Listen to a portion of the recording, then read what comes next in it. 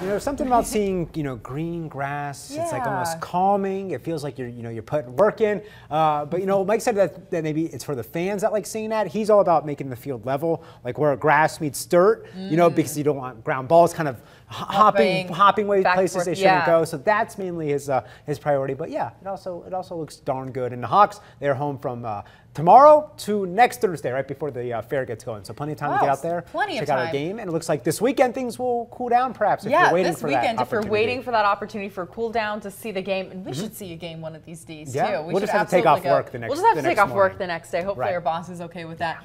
But uh, it's absolutely a great weekend to do that because we're going to be cooling down significantly. So take a look at weather where you're at. Uh, 50 degrees in Bogus Basin right now. Notice a little bit of that smoke uh, looking into the horizon. That's unfortunately going to be a theme just for the next few days. But in the meantime, around 69 degrees in the Boise area. Take a look, though, at that sunrise. A little bit of a cotton candy uh, look to it right before the sun comes up this morning. Very, very beautiful. Taking a look here at the Adventure Cast, if you want to do something active outside today, you know, as Brian was mentioning, probably your best bet is to wait until the weekend when we kind of cool down a bit. But if you really want to go out and you need to get those runs in, need to walk the dog, try the morning. We're only going to be around 70 degrees by that point. We're already uh, into the upper 80s to low 90s by lunch. And of course, hitting that high of 100. Not exactly the most pleasant experience be doing things outside then.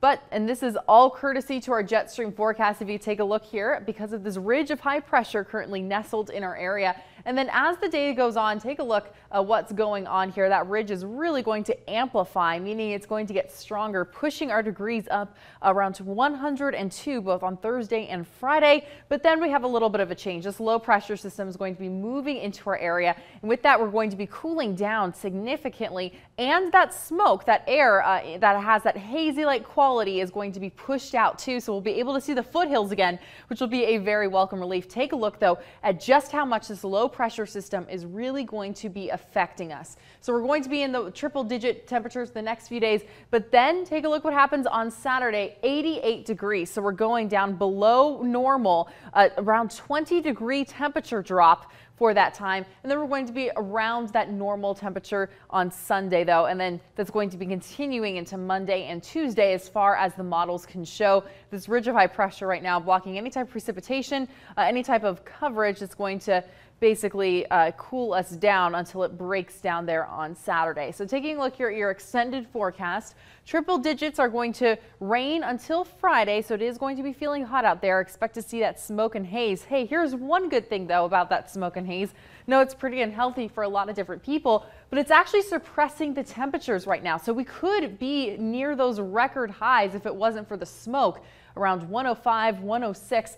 So be grateful for it in one sense. And then we're actually going to be seeing that cool air coming in on Saturday and then ending our week, Brian, uh, right where we need to be in the low 90s. Okay. Well, nice to know that there is uh, something to look forward to with these cooler temperatures uh, up ahead. All right. Thank you very much, Lauren.